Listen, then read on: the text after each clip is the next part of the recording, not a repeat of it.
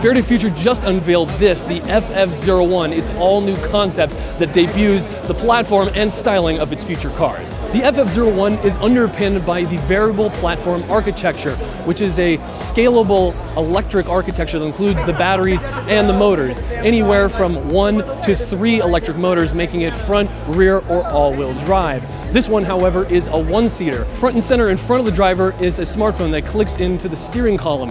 Now the driver can also control the vehicle outside of the car with that smartphone. And that's the cool thing about this car. It's also a, uh, an autonomous car can drive itself. Although the FFZERO1 is just a concept car, it's essentially an extreme tablet on wheels. I know I love it, but we'd love to hear what you think in the comments.